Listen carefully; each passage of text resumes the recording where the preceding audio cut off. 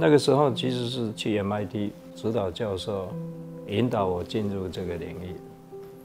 那个时候我我是有兴趣用酵素来合成分子嘛，那最最不容易的就是糖分子，所以他就跟我讲说，将来的机会在糖分子了啊，酵用酵素去合成有机化合物，那最好的机会在糖分子，因为糖分子的化学合成太复杂了，所以我就好奇而进入嘛，现在开始哈，开始开始。很多人在想这个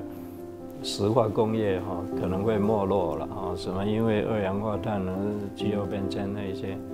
所以所以会走向电动车，所以石油价钱会会起来。你就要有期待啊！最大宗的就是那一些化学原料，现在都是石油炼裂解出来的那一些嘛。那个那个，你你你石油没有开采，这一些就没有了。没有，我们做有机化学就没有材料，所以我们要另外去思考材料，不同的材料。糖分子是最最丰富的，而且它是再生的，因为二氧化碳被树木吸收，跟阳光跟水就变成糖分子嘛。糖分子是二氧化碳来的嘛，那糖分子你用掉之后又变成二氧化碳，交给交给那个植物，它要制造糖分子给你啊。所以糖分子是。循环经济的一一个，也是那个再生能源的一一环嘛，所以将来很可能糖分子会取代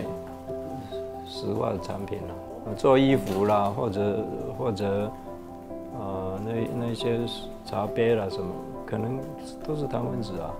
那糖分子它有很多很多用途，啊，在食品啊，在工业。那我只不过是往医药方面在发展。假如这个二氧化碳的问题一直呈现，然后地球暖化的问题一直被重视啊，你要开拓新的那个环保能源，那我我我觉得糖分子会被重视啊，